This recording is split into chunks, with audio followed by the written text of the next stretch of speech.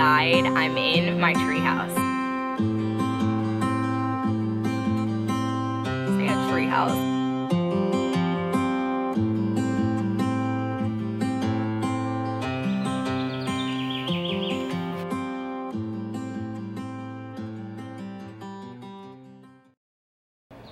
Hey guys, what's up?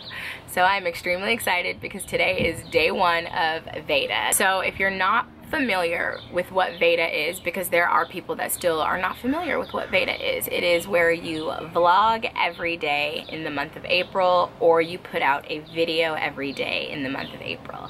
I literally cannot believe this is my third year participating in Veda. Little fun fact in case you didn't know, Veda is actually originally how I got started with vlogging in the first place because I started a channel and I wasn't really sure what the direction of the channel was gonna be but I started hearing about Veda so on a whim I was like oh okay I can do that I'll I'll do that every day for for 30 days it's what sort of started this whole process of me vlogging my life like for the internet. But anyways, hey guys and welcome to day number one of Veda. My name is Addie. If this is your first time stopping by our channel, welcome. I am a blogger over at Greenhouse Happy Home, which is basically a kind of spin-off of this channel right here. It kind of all started because of growing with the greens. I am a writer first before video. I love video. I'm so passionate about video. I always have been. Video and photography. But writing has always come first. Writing is how I've always been able to express. So I'm excited to not only be participating in Veda this year, but I'm also going to be doing a blog post every day in April as well. So if you've been following here, I'm asking you guys as a friend, be sure to head over and check out some of my blog posts for this process too, because 30 days of blogging, I should hopefully have a lot to say. So if you didn't notice already, and I hope that you can hear me, I don't even know how the quality of this is gonna sound, but I am sitting outside. I'm in my treehouse. Girl, did you just say a treehouse? Yes, so I totally just said that I'm outside in a treehouse.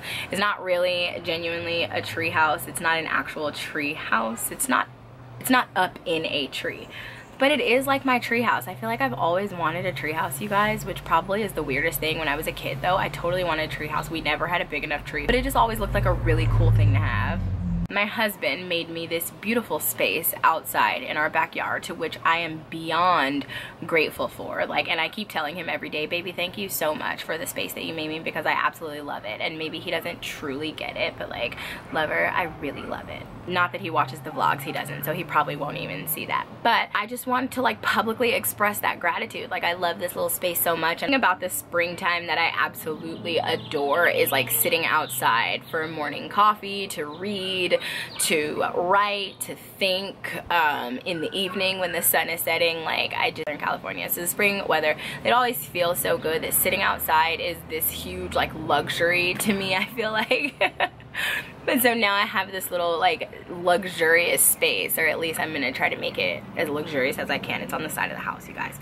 But I'm really excited about it, so is where I am right now and so basically what I want to use Veda for this year is to hold my ass accountable because uh, raise my hand and for those of you that follow on Instagram and watch my Instagram stories, you know that I was saying the other day how it's April. It's that time of year that we need to start reevaluating where we are. Like have you fallen off from some of the goals and all the stuff you were so excited about in January are you still doing those things or are you not? So in kind of evaluating some of that, I feel like I'm at a place where some things are taking off in a really good direction that I, I am really excited about. And there's some things that I have not held fast to at all and I want to get back on track. Not to mention the kids are coming off of spring break, you guys. They've been on spring break for two weeks and before they went on spring break, I left on a Thursday. So even a couple days before spring break actually started, I was already starting a little spring break of my own. I was in Vegas with the girls on a little girls relaxing weekend. So basically for two weeks, I've kind of just been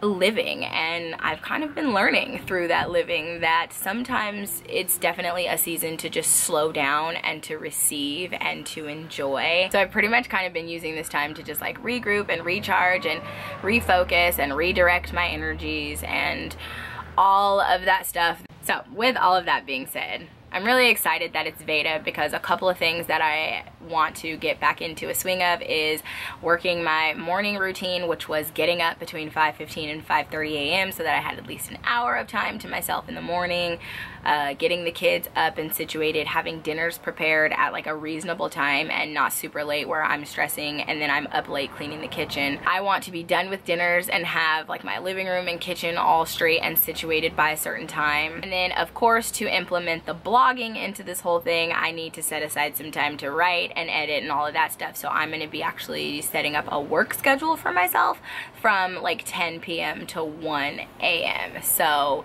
we'll see, because I'm saying all this, but y'all know you can say what you want to say about setting goals and habits that shit is hard to do. It really is. And that's why coaching is a profession and that's why there are so many programs out there that are geared toward helping people stay on track with establishing goals, whether it be for your personal development or for business or for whatever it's for. So needless to say, I'm a self-help junkie. I read a ton of books on different developmental things all the time. Some of my latest reads were The Miracle Morning, uh, The Five Second Rule by Mel Robbins, and I also just read Crush It by Gary Vaynerchuk. And so I will be doing kind of like a book sort of video coming up here in Veda 2 to kind of just go into some books that I have been reading. But with those being said, I know that I need to have some better routines in place if I want a better flow. And I definitely need a better flow in my house, you guys. So that is how it's going to be going down, my friends, for the next 30 days. You can find me here every single day with some sort of a video for you that I hope you will enjoy. I am a writer by nature first, you guys, so you can also catch up with me a little more in depth over at at the blog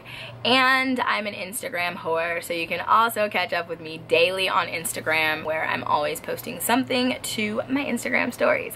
So lots of different ways to keep up with us there. I'm gonna go ahead and end this video for today. I just wanted to share with you what's gonna be going on with me during Veda and I hope that you will sort of take this ride and this journey with me. And if you are looking to change up a routine or a habit or get back into something join me for Veda because I'm gonna be attempting to work out and to drink more water and to make sure I practice daily self-care and to journal and all of these things. And I have you guys to help hold me accountable for that. So join me in all of it or don't. It's totally up to you. I'm gonna go, you guys. I'm gonna go finish reading. It is a beautiful day. I'm not sure what time the kids are coming home, so I'm gonna go ahead and enjoy the rest of my time out here. But it is so great to see you, and I look forward to seeing you tomorrow.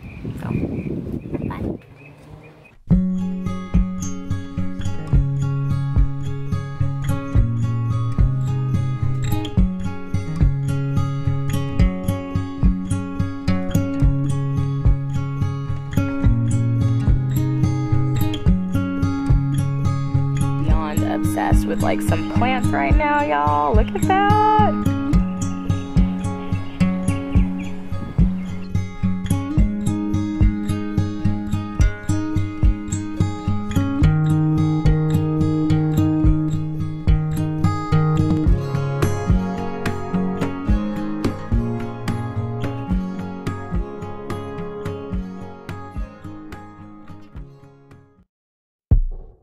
love and lust. Damn. All of us. Give me a run for my money. There is nobody, no one that run me.